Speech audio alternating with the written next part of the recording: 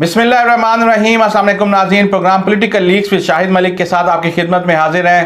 नाजिन आज एक दफ़ा फिर से बात करेंगे। तेज़ी से बदलती मुल्की सियासत के हवाले से।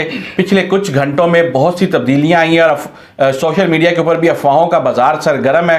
तो आइए शाहिद साहब से जानते हैं कि अब क्या होने जा रहा है और वो क्या देखते हैं। जी अलैक्म शाहिद साहब। जी वालेकुम अस्सलाम। शाहिद साहब क्या कहेंगे पिछले 24 से 48 घंटों के अंदर फिर से चेंजेस आई हैं और अपोजिशन जो है वो फिर स्ट्रांग बन के उभरी है।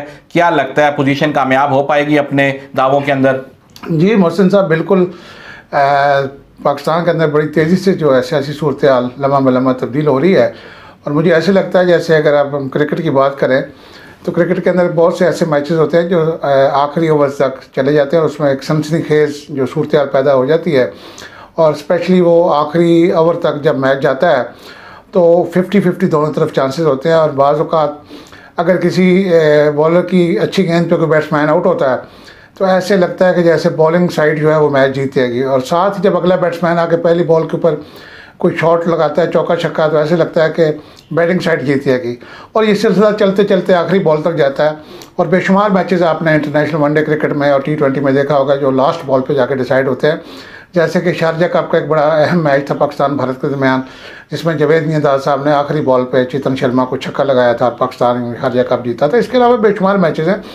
तो पाकिस्तान की जो सियासी सूरत हाल है, उसको भी मैं इस वक्त एक सनसनी खेज क्रिकेट मैच की तरह देख रहा हूँ, जहाँ पे एक दिन हमें नज़र आता है कि इमरान खान साहब इस बहरान से निकल जाएँगे और दूसरे लम्हे में ऐसे लगता है कि नहीं, इमरान खान साहब अब जा रहे हैं। तो ये जो सिचुएशन है, ये अभी चलेगी। अभी ये मज़ीद मैं आपको बता रहा हूँ कि एक दो हफ़्ता ये इस तरह चलेगी। ओ आई सी के इजलास के बाद जाके कोई पिक्चर क्लियर होगी, जो पाकिस्तान में होने जा रहा है। तो अभी तक तो इमरान खान साहब भी पूरे अतमाद नज़र आ रहे हैं और अपोजिशन भी जो है, वो भी बड़ी इतमान में नज़र आ रही है। और यूँ लग रहा है कि दोनों अपनी अपनी तरफ़ से पूरी उम्मीद हैं, लेकिन होना तो वही है, मोहसिन साहब, जो अल्लाह ताला की ज़ात की तरफ़ से होना है, क्योंकि व तेज़ो मंतशा व तजिल्लो मंतशा आपने सुन रखा है, अल्लाह ताला ने कुरान में फरमाता है कि वो जिसे चाहता है इज़्ज़त देता है, जिसे चाहता है ज़िल्लत देता है। अब देखते हैं कि इज़्ज़त किसके हिस्से में आती है और ज़िल्लत किसके हिस्से में आती है। God knows better. लेकिन इंसान एक प्रडिक्ट कर सकता है, क्यास कर सकता है पेश गोई कर सकता है। तो उस हवाले से मुझे अभी जो है, पंजाब के अंदर जो है जैसे मैंने पिछले प्रोग्राम बताया था कि मुझे एक चौधरी निसार साहब की शक्ल में नया सी नज़र आ रहा है। और प्राइम मिनिस्टर को भी मैं, यानी आउट ऑफ़ डेंजर देख रहा हूँ कि आखिरी लम्हात में जाके वो मैच को संभाल लेंगे और अपने तहदियों को मना लेंगे या कोई ऐसी हमत अमली सामने लाएँगे जिससे वापस जो है वो सूरत उनके हक़ में हो जाएगी। तो मुझे फ़िलहाल ये लगता है। शाहिद साहब आपने अपने पिछले प्रोग्राम में सीएम पंजाब के तौर पे चौधरी निसार का ज़िक्र किया था लेकिन अपोजिशन जो है वो चौधरी परवेज़ इलाही साहब को पहले आ, कह रही थी कि वो सीएम बनेंगे और अब हमजा शहबाज का भी नाम आ रहा है। तो क्या लगता है किसके हक में जाएगा ये फैसला? देखें, जैसे मैंने पहले कहा, मोहसिन साहब, ये तो अल्लाह की ज़ात बेहतर जानती है, लेकिन न जाने क्यों मुझे लग रहा है कि चौधरी निसार साहब जो है, उनकी खामोशी साढ़े तीन साल की, वो अब टूटने के करीब है। और चौधरी निसार साहब पक्के दस नंबरी मसलन नून में रह चुके हैं, दस नंबरी भी हैं और बड़े चक्री आदमी हैं। कोई ना कोई चक्कर दे के सामने अचानक आएँगे। और चौधरी निसार साहब बड़े शरीफ आदमी हैं, आप उन्हें दस नंबरी और चक्री कह रहे हैं। जी, मोहसन साहब, बिल्कुल मैं उनको दस नंबरी जो कह रहा हूँ और जो चक्री कह रहा हूँ, उसको आप समझे। शायद हमारे नाजीन समझ गए हो। दस नंबरी मैं इसलिए उनको कह रहा हूँ कि वो जिस निश्चित से इलेक्ट हुए हैं, वो पी पी टेन है। यानी पंजाब का हल्का नंबर दस पिंडी से स्टार्ट होता है, पंजाब का हल्का जाता P P one P P two P P ten उनका हल्का है तो इसलिए मैंने उनको दस नंबरी कहा, दस नंबरी कहा और जहाँ तक चक्री बंदा मैंने कहा तो इसलिए कहा कि क्योंकि उनका भाई ताल्लुक जो है वो चक्री से है तो इसलिए वो कोई ना कोई चक्कर चलाएँगे। और मुझे लग रहा है कि आखिरी वक्त में सामने आएँगे और उसके पीछे एक रीज़न नज़र आ रही है मुझे कि जो ही ये जैसे आपने परवेज़ लाई साहब का नाम बताया के सामने आया तो अब मुझे जो मेरी इतलात है उसके मुताबिक यह है कि मुस्लिम लीग नून के अंदर भी एक बागी ग्रुप तैयार बैठा हुआ है और वो किसी वक्त भी बगावत सर उठाएगी और कोई बीस से ले कर पच्चीस के करीब जो एम पी हैं, वो बगावत करेंगे जब चौधरी परवेज अली साहब का नाम एज ए सी एम सामने आएगा। तो वो इनको लेने के देने पड़ जाएँगे और वो जैसे पीपल्स पार्टी का नारा हर घर से भुट्टो निकलेगा तो वो भी यही होगा कि हर तरफ़ से एम निकलेंगे नून लीग के, जो सामने आएँगे और फिर एक प्रेस कॉन्फ्रेंस होगी तरीन ग्रुप की तरह और दीगर जो फॉरवर्ड ब्लॉक होते हैं कि जी हम परवेज़ लाई को वजी अला कबूल नहीं करते तो हमने एक अपना अलहदा ग्रुप बनाया और वो ग्रुप फिर चौधरी निसार साहब उसको लीड करेंगे और फिर इस तरीके से पी टी आई आपको पता है कि चौधरी निसार साहब, इमरान खान साहब के बड़े करीबी दोस्त हैं, जैसे मैंने पिछले प्रोग्राम में कहा था, वो शबाज शरीफ साहब के करीबी दोस्त हैं, क्योंकि नून लीग में इकट्ठे रहे हैं और बड़े मियाँ से ज़्यादा, उनकी छोटे मियाँ साहब के साथ ज़्यादा कुर्बत थी। और जो अस्करी शख्सियात से अक्सर ये में मुलाकातें होती थी, वो चौधरी निसार साहब ही शहबाज शरीफ साहब को साथ लेके जाया करते थे। लेकिन दूसरी तरफ़ हम देखते हैं कि धरने के दौरान ये वजर वजी दाखिला थे पाकिस्तान के, और इन्होंने अपने दोस्त इमरान खान को कि ये अच्छी सोनियन है, और इनकी एजिसन के ज़माने से इनकी बड़ी कुर्बतें और दोस्ती हैं। तो चौधरी निसार साहब इमरान खान के लिए बड़ा सॉफ्ट कॉर्नर रखते हैं।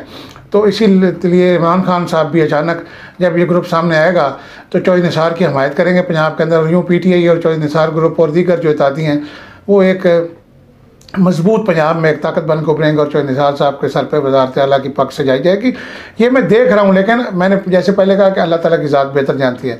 दूसरी तरफ़ अगर हम मरकज़ में देखें तो इस वक्त हालात बड़े खौफनाक नज़र आ रहे हैं। जिस तरीके से चौधरी बरदरान फैसला करने जा रहे हैं जिस तरीके से M Q M peoples party की कुर्बतें बढ़ रही हैं जिस तरीके से दीगर जमातें जो है तो यूँ लगता है जैसे इमरान खान साहब जा रहे हैं। यानी ये एक ऐसी सूरत हाल हो इसमें मुझे लगता है कि इस्टबलिशमेंट का आज से दो चार प्रोग्राम पहले आप चौधरी बरदान की बड़ी तारीफ़ कर रहे थे कि उन्होंने आला जरफ़ी का मुजाहरा किया है। लेकिन अब जो खबरें आ रही हैं तो जो इतिहादी हैं, वो तो अपनी बंदर बांड में लगे हुए हैं। कोई कह रहा है, हमें सीएम शिप दो एम क्यू एम वाले कह रहे हैं, हमें गवर्नरशिप दो। ऐसे जैसे कि कोई सौदे हो रहे हों आवाम के और अवामी जो मैंडेट है और आवाम की जो एक नुमाइंदगी करने के, हर बंदा अपना हक मांग रहा है। तो ये क्या सियासत है? आवाम की खिदमत है या ये अपनी जेबें भरने के लिए ये अहदे मांग रहे हैं? देखिए, मोहसन साहब, ये बंदर बांड बड़े अरसे से पाकिस्तान बनने से लेकर आज तक चलती आ रही है।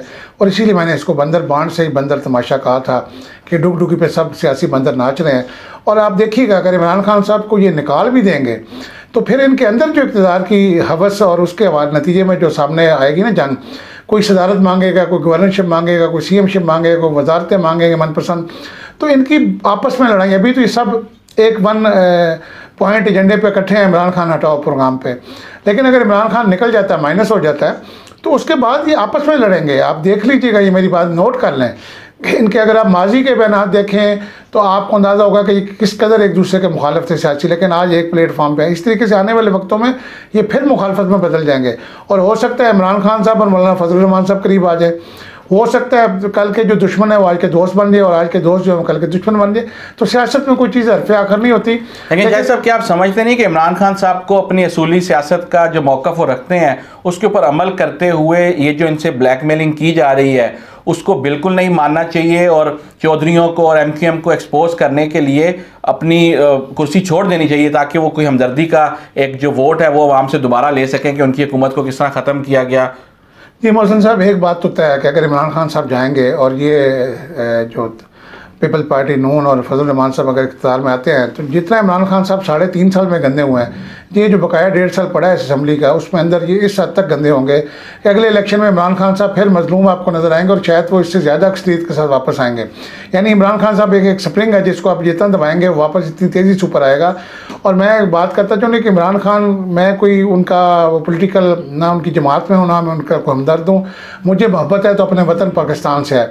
मेरी ज़ाती राय में पाकिस्तान के लिए इस वक्त अगर कोई लीडर पाकिस्तान को आगे लेके जा सकता है और तरक्की याफ्ता ममालक की लिस्ट में शामिल करवा सकता है, या आलमी दुनिया के सामने एक लीडर बन के उभरा है तो इमरान खान उभरा है। मेरी चूँकि पाकिस्तान के साथ मोहब्बत है तो मुझे पाकिस्तान के लिए जो बेहतर नज़र आएगा, मैं उसको सपोर्ट करता हूँ। इमरान खान साहब बहसीत लीडर। मैं समझता हूँ इन तमाम जो पाकिस्तान के दीगर लीडरान हैं, उनसे बहुत बेहतर है, काफ़ी बेहतर है। और इमरान खान साहब को मौका मिलना चाहिए। और शायद इसी वजह से इमरान खान को ये सज़ा मिल रही है, क्योंकि इमरान खान ने आलमी सतह पर पाकिस्तान को जो इमेज है वो बहुत ऊपर ले गए, बहुत बुलंद। आज अमेरिका, रशिया, चाइना यूरोप, तमाम ममालिक जो है वहाँ पर नज़र जमाए बैठे हैं। तो इमरान खान साहब की जो कायदाना सलाहियत है, उसमें कोई शक नहीं नो डाउट कि वो एक लीडर जैसे अच्छे करेक्टर थे वैसे ही एक अच्छे लीडर बन के उभरे हैं। अवाम आज लेकिन मार कहाँ से खा रहे हैं? क्या मोहसन साहब देखें मार उनको आलमी ताकतें मैंने जैसे पहले कहा था कि अगर वो एक लाख डॉलर अमेरिका यहाँ भेजे मिसाल दे रहा हूँ तो यहाँ आके पौने दो करोड़ रुपये बन जाता है। अगर बरतानिया से एक लाख पाउंड आए तो वो भी इस तरीके से करोड़ों में पहुँच जाता है। तो वो अगर आलमी ताकतें कुछ पैसे दे के यहाँ से कुछ हमारे जो लोटे हैं सियासत के अंदर ये आ, पहले समझते नहीं महँगाई और बैड गवर्नेंस का भी इसमें रोल है जो बिल्कुल देखें जब आप मुल्क को कहीं आगे लेके जाना होता है ना फिर ये महँगाई बर्दाश्त करनी पड़ती है। इसकी मिसाल इस तरह है कि जैसे एक पेशेंट सेहतमंद इंसान अचानक बीमार हो जाए और उसका डॉक्टर ऑपरेशन तजवीज़ करें या उसको एडमिट कर लें हॉस्पिटल में तो उसको कुछ तकलीफ़ों से गुजरना पड़ता है। उसको इंजेक्शन लगते हैं, उसका ऑपरेशन ऑपरेट होता है, उसको दवाइयाँ कड़वी कड़वी खानी पड़ती हैं। लेकिन ये सब इसलिए इलाज हो रहा था ताकि वो सेहतमंद हो जाए। पाकिस्तान की मीशत जितनी गिर चुकी थी, बिगड़ चुकी थी स्टॉक मार्केट जितनी गिर चुकी थी और जितने कर्जे पाकिस्तान के ऊपर चले गए थे, उसमें ये सख्त फैसले लेना मजबूरी है। कोई भी गवर्नमेंट आएगी, उसको लेने पड़ेंगे। उसमें यह है कि पाकिस्तान को ये मुश्किल वक्त से गुजर के, उसके बाद पाकिस्तान की जो इकॉनमी हेल्दी होगी, सेहतमंद होगी, और फिर इसका जो फ्रूट है, यानी इसका जो समर है, वो आवाम तक पहुँचेगा। तो इमरान खान साहब, मैं समझता हूँ कि अगर जाते हैं तो 2023 के इलेक्शन में ज़्यादा ताकत के साथ वापस आएँगे, और उनको इतादियों का सहारा नहीं लेना पड़ेगा।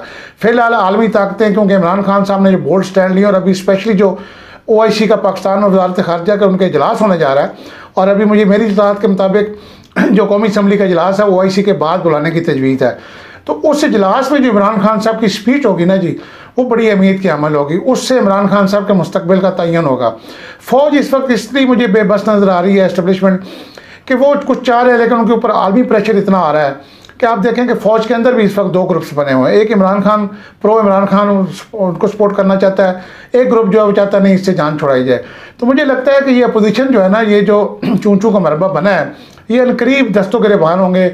और इस सारे मामले में अगर आप देखें मौसम साहब, मैं ये नोट कर रहा हूँ, पिछले दो माह से जब से सियासी खीर पकड़ी मरीम नवाज़ साहब जो है, वो बिल्कुल साइड पर है। हालाँकि वो मुस्लिम लीग की नवाज़ शरीफ साहब के बाद बड़ी मुतरक कायद थी और मुसलसल इस्टबलिशमेंट पे और इमरान खान की हुकूमत पे वार कर रही थी, लेकिन इस सारे सिनेरियो में आपको मरियम किसी मीटिंग में कहीं नज़र नहीं आ रही। तो ये भी एक सवालिया निशान है, इस पर भी गौर कीजिएगा, नाजरीन भी इस पर गौर करें। तो ये सब कुछ जो हो रहा है, इसमें किसी भी वक्त इमरान खान साहब ने अगर कुछ ने टेक दी इस्टबलिशमेंट के आगे या आलमी ताकतों के आगे तो महफूज पर मरियम नवाज़ साहिबा की खामोशी के ऊपर हम एक अलग से प्रोग्राम करेंगे। जी जी। अभी इसको यहीं पे खत्म कर दें क्योंकि प्रोग्राम काफ़ी लंबा हो गया है। तो बहुत शुक्रिया कि आपने हमारे प्रोग्राम को ज्वाइन किया। थैंक यू वेरी मच बहुत शुक्रिया। जी नाजिन आप सुन रहे थे शाही साहब की गुफ्तु मुल्की हालात के ऊपर।